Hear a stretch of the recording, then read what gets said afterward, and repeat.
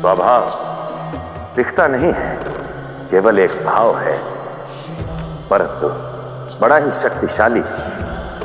यदि मनुष्य को बना सकता है तो मनुष्य को मिटा भी सकता है। ठंडा और नम्र स्वभाव ये तो सभी को भाता है। किंतु गर्म और उग्र स्वभाव वाले व्यक्ति से सभी दूर रहना चाहते हैं। इसलिए अपने स्वभाव को सूर्य से भी तेजस्वी बनाओ। जिससे ना तो उगने का अभिमान है और ना ही डूबने का भय, जो अपने कर्म से, कर्तव्य से, सभी के जीवन को प्रकाश से भर देता है। नकारात्मक के अंधकार को भी दूर कर देता है।